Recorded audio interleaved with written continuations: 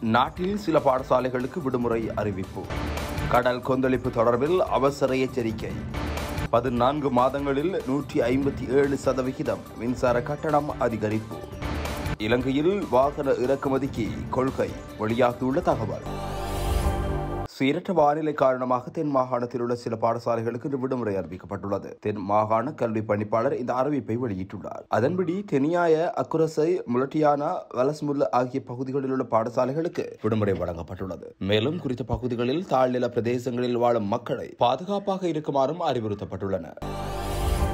பலத்த காற்று மற்றும் கடல் சீற்றம் குறித்து வளிமண்டலவியல் திணைக்களத்தின் இயற்கை அனர்த்தங்களுக்கான ஆரம்ப எச்சரிக்கை மத்திய நிலையம் எச்சரிக்கை விடுத்துள்ளது. இந்த அறிவிப்பு இன்று பிற்பகல் இரண்டு முப்பது மணி வரை செல்லுபடியாகும் என தெரிவிக்கப்பட்டுள்ளது. மத்திய மேற்கு வங்கக்கடலில் நிலை கொண்டுள்ள குறைந்த காற்றழுத்த தாழ்வு நிலை காற்றழுத்த தாழ்வு மண்டலமாக உருவாகி கடந்த இருபத்தி நான்கு மணி நேரத்தில் மேலும் ஆழ்ந்த காற்றழுத்த தாழ்வு மண்டலமாக உருவாகி வங்கதேச கடற்கரையை நோக்கி நகரும் என எதிர்பார்க்கப்படுகிறது. எனவே அந்த கடற்பரப்புகளில் காற்றின் வேகமானது மணித்தியாலத்திற்கு நாற்பது தொடக்கம் நாற்பத்தி ஐந்து கிலோமீட்டர் வேகத்தில் வீசுவதுடன் அவ்வப்போது மணித்தியாலத்திற்கு ஐம்பது தொடக்கம் அறுபது கிலோமீட்டர் வரை அதிகரித்து வீசக்கூடும் எனவும் குறிப்பிடப்பட்டுள்ளது. மேற்கூறிய கடல்கள் கொந்தளிப்பாகவோ அல்லது மிகவும் கொந்தளிப்பாகவோ இருக்கும். மேலும் பலத்த மழை அல்லது இடியுடன் கூடிய மழை பெய்யக்கூடும் எனவும் தெரிவிக்கப்பட்டுள்ளது.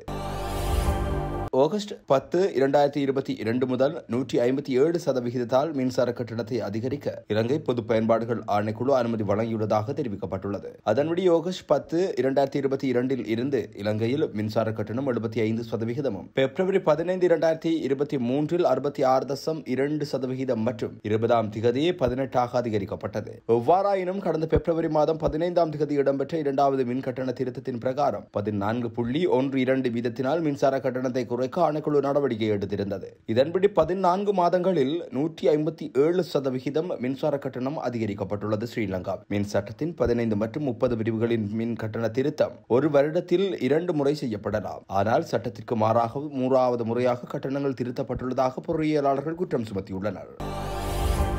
அந்நிய கையிருப்பு இருப்பை பொறுத்து அடுத்த ஆண்டு முதல் வாகன இறக்குமதி கொள்கையை அரசாங்கம் அறிமுகப்படுத்த உள்ளதாக மூத்த அரசு அதிகாரி ஒருவரை கோடிட்டு ஆங்கில செய்தித்தாளர் செய்தி வெளியிட்டுள்ளது. திரைசேரி மத்திய வங்கி ஜனாதிபதி செயலகம் மற்றும் வாகன இறக்குமதியாளர்களின் பிரதிநிதிகளை உள்ளடக்கிய நிபுணர் குழு ஒன்று இதற்கான கொள்கை ஒன்றை வகுத்து வருகிறது.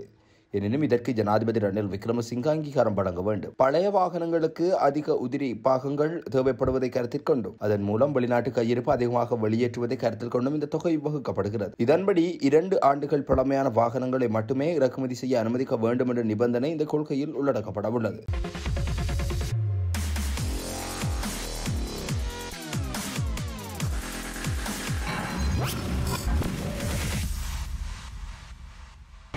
நாட்டில் சில பாடசாலைகளுக்கு விடுமுறை அறிவிப்பு. கடல் கொந்தளிப்பு தொடர்பில் அவசர எச்சரிக்கை.